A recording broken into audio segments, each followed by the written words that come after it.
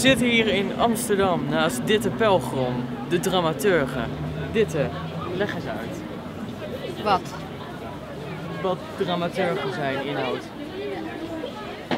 Ja, dat, dat hangt van de dramaturg af, maar in principe kan je zeggen dat een dramaturg de samenwerker is tussen de schrijver en de regisseur. Of tussen de regisseur en de spelers. En verder zitten we hier eh, bij Café de Bali, helemaal in Amsterdam. Waarom? Vanmiddag hebben we een, een lezing van een tekst van Manje van den Berg.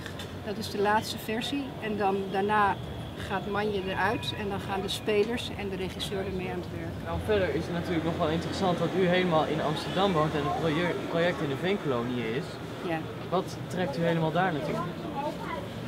Ehm, ik vond het een hele logische stap van Michiel, van de regisseur, om met Tsjechov te komen, omdat de, de wijdheid van de verhalen van Tsjechov mij altijd hebben doen denken aan Groningen. Dus ik heb zelf ook wel echt een speciale band met Groningen. Maar toch woont u hier.